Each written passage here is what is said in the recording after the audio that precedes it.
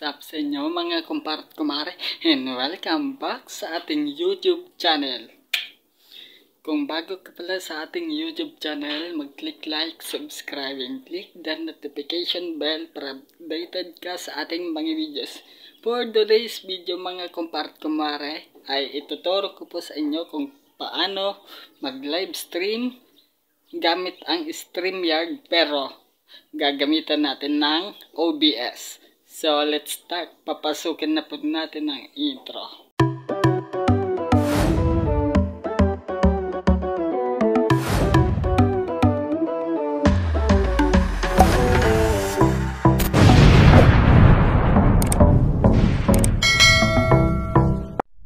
Tuturo ko na po sa inyo kung paano mag-live sa StreamYard pero ang lumalabas ng video ay OBS.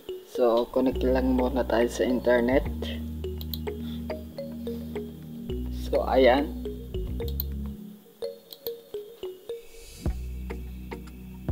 So, okay, connected. Buksan po natin yung Chrome. I-download po muna natin ng OBS. So, ayan. Ito po yung una mga kumpart kumare. Click po natin yan. Tapos, pili po kayo kung Windows, Mac, or Linux po yung ginagamit po natin. And click po natin yung Windows. Pag nyo tab yan, tapos magda-download na po yung mga kumpart kumare. Sa case ko po, eh, na-download ko na po yan. So, minimize lang natin po yan. Tapos, buksan natin yung OBS. Kasi na-folder ko na po ito mga kumpart kumare, no? Ayan. Open lang natin hintayin lang po natin magbukas yung OBS. So, makikita po natin na may scene dito sa part na to. I-click nyo po yung plus. Tapos, kahit anong ipangalan po natin dyan. Halimbawa, stream line. Then, enter. Tapos, sa sources naman nandito po naman mga lalagay nyong source so click po natin yung plus. Piliin po natin yung kung gusto nyong kitang kita po kayo sa live stream piliin nyo lang po tong video capture device. Then okay. Mag-active na po yung camera. Ayan o kita kita po tayo so click ok ayan. Paliitin palakihin po natin yan mga kumari no? So kung gusto nyo po naman ng window capture kasi ito po yung ginagamit ko pang virtual camera. So yung display capture po natin kung gusto nyo pong mag capture so wait lang. So, click nyo po yung plus, display capture mga kumpart kumare, no? Ayan. Then, kahit anong ipangalan nyo dyan. So, okay na. So, click OK. So, ayan. Kung naka-Windows 10 ka pataas, i-click nyo po yung pinakadulo, no? Mga kumpart kumare. So, ayan. Lalabas na po yung ito. Isa. Lalabas na po ito. Then, click. Okay. So, nawala pa tayo. So, drag lang natin para makita pa tayo ulit. So, ayan. So, andyan na po tayo mga kumare, no? Then, kung ipapasok natin sa StreamYard, madali lang. Wait lang mga kumare. New tab.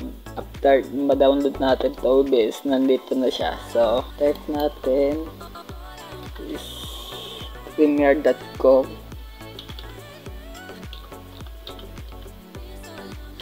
com. Then enter. So tinuro ko na po itong mga kumpat kumara sa StreamYard live streaming. Kung paano po tayo mag live dun. So ito naman is OBS based. So so create a broadcast. So new broadcast Then, pili po kayo kung saan channel po kayo magla-live. So, ayan, halimbawa to, Banikad Gaming. Second ch- channel po natin is kahit anong i-title po natin dyan. Halimbawa, ganito, try. No? So ayan mga kupar, kumare na.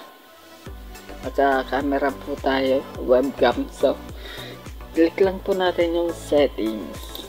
Settings. Naka yung camera sa yung camera po natin mga kumpar kumare naka HP webcam. Kung ano pong gamit nyo. So click po natin tong pababa na to. Tapos OBS virtual camera. So click po natin yan. Makikita nyo ganito mga kumpar kumare no then X po natin yan. Kailangan pa natin i-on yung OBS wait lang palagyan lang natin to So, andito pa rin yung kung gusto niyo naman na i-activate yung camera double click yung video capture device. So nakikita nyo activate. So ayan kita kita na po ulit tayo mga kumpare kumare. Then okay dito tayo kita. Then ayan mga kumpare kumare. Pwede lang ito lipat-lipat ng ganito sa side. So, para pumunta to sa StreamYard. So, uh, click ko natin yung virtual start virtual camera. So, ayan. Nakaon na po yan mga kumpart kumare. And then, uh, so, nandito na nga mga kumpart kumare. Yung sinet up natin na oh, galing sa OBS mga kumpart kumare. No? So, to stream po tayo. So, ayan. Galing na po yun ng OBS. So, ayan. Kung gusto niyo naman na bumalik sa camera or sa webcam na kaya lang po yung nakita. So, tanggalin po natin yung video capture device dito sa OBS. So, remove. Then, yes. So, paano natin yung gagawin? So, punta ka lang kayo settings then HP webcam.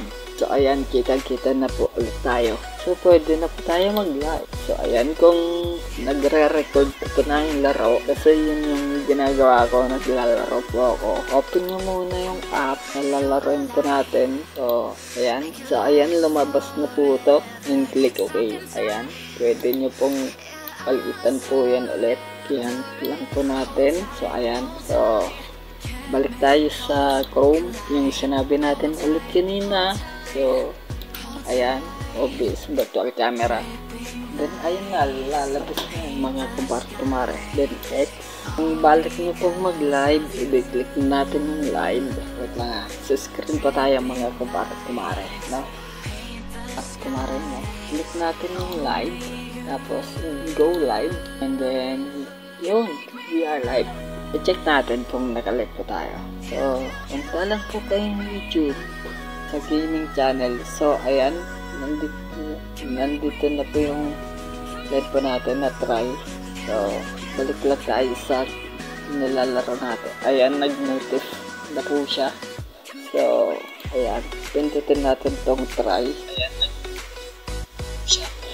Rinig na rinig yung sinasabi po natin dito.